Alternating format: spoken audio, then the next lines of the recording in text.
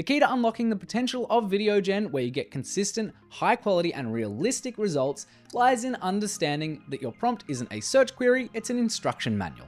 This video is brought to you by Envato VideoGen. Now, high quality AI video is not some futuristic concept anymore. It's a powerful creative tool that is here right now. Now, you might be using Gen AI as a previs tool, or you might be actually using it to create bespoke stories. Either way, one thing is for sure, and that is creative control is key. And creative control with generative AI has everything to do with how you prompt it.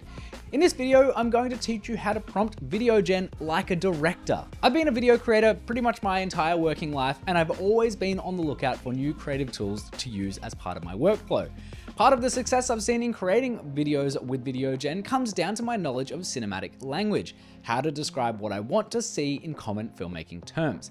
Understanding the difference between a point source light and a diffuse light, for instance. Knowing the effect a wide angle lens will have on a subject versus a telephoto lens. Uh, and understanding how to translate sort of different camera movements and things like that into simple directions. And that's what I'll be getting into in this short course. How to translate your knowledge of video creation into an effective prompt for Gen AI. Now Envato has a full stack of AI tools and in this course we'll be zeroing in on video gen. I'll also touch on image gen as well. We're mostly going to be looking looking at how to structure your prompts to make sure that the substance is coming through in the final result.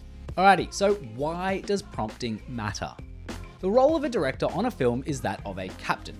They are solely in charge of the creative direction of the project, and thus they are the person with all of the answers. Art department has a question about the color of a lamp in the back of a shot. Director. AD wants to know where to block the background actors in the coffee shop. Director. I make the point because if you want to get consistent, high quality results from VideoGen, you need to be the director. You need to know your creative back to front. You need to be able to describe every single thing that is happening in the scene from the smallest detail to the words coming out of your actor's mouth. The more you give it, the more it understands what you're after and the closer it'll get to your vision. All right, so the director's prompt breakdown. How do we get there? How do we craft high quality prompts? We'll start with visual style. So this defines the overall quality and aesthetic of your shot. It's like telling your cinematographer, I want this to feel like a high-end commercial, not a home video. By starting with edgy, high resolution video, raw, dynamic street portraiture, you're immediately setting the bar for visual fidelity. This ensures VideoGen understands the caliber of the output you expect.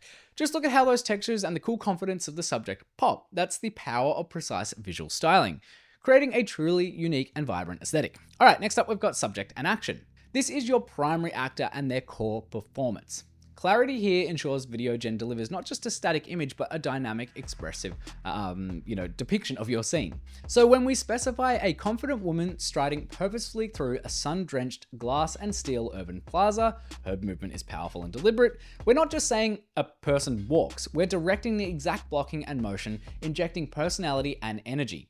See how just that little detail transforms the simple act into a captivating display? It makes it feel, you know, purposeful and alive. It makes her movement feel purposeful.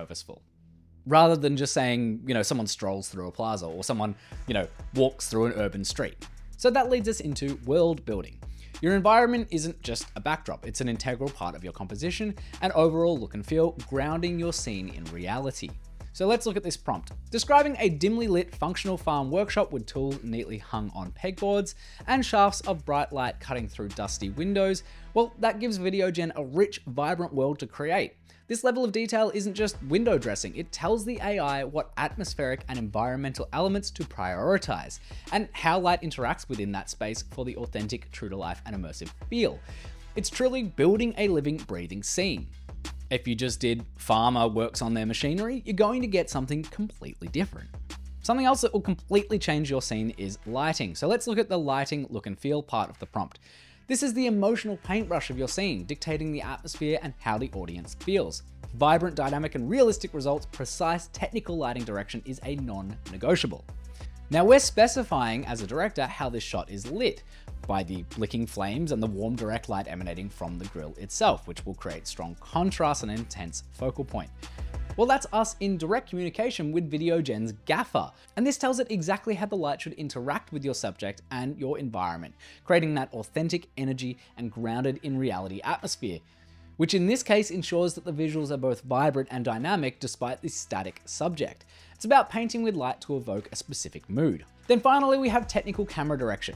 So with technical camera direction, you can kind of go a multitude of ways, but this is where you become a camera operator of such, and you're instructing the AI to find the perspective that you want of that scene.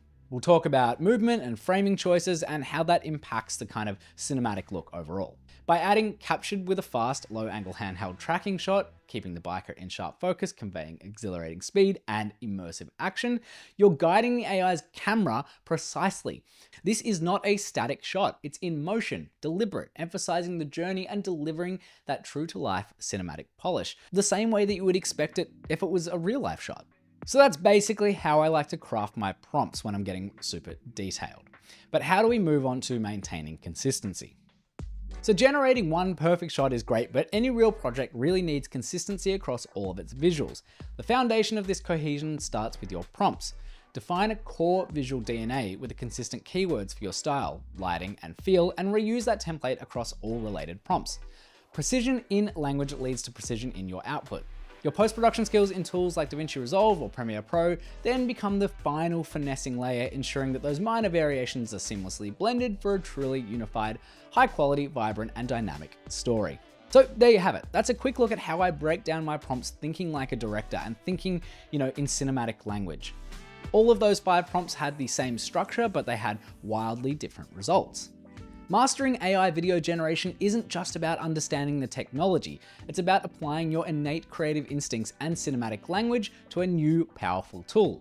By taking on the role as a director in your prompting workflow, you gain unparalleled creative control, ensuring every frame aligns with your vision. This is about working smarter, not harder, and producing consistently stunning results. Now, if this abridged deep dive into prompting supercharged your AI video game, then go ahead and sign up with Envato today because you get full access to the AI stack with one regular standard subscription. That means other tools for filmmakers like music gen, graphics gen, voice gen, and image gen. Oftentimes I like to run my prompt through image gen to get my first frame and then I build my video on top of that. Or sometimes I'll throw that prompt right into VideoGen and see what comes out. You can refine your way of working with all of the tools that are available to you in the Envato stack. Let me know what you thought of this video in the comments and if you want me to dive deeper into my prompting workflow and in general my generative AI video and photo workflow, let me know, I'm all ears. And until next time, keep it cinematic.